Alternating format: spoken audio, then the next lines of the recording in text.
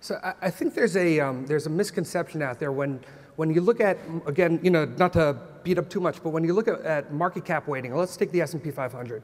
People think they're in a very broadly diversified representative basket of, of US large cap or even the US equity market. And in reality, there's a tremendous concentration in those indices. Um, the S&P 500, the top weighting is Apple. Apple has a higher weighting than the bottom 104 stocks combined. And the top 10%, the top 50 names of the S&P 500 have uh, almost, I think 48% of the total weight, so almost as much as the next 450.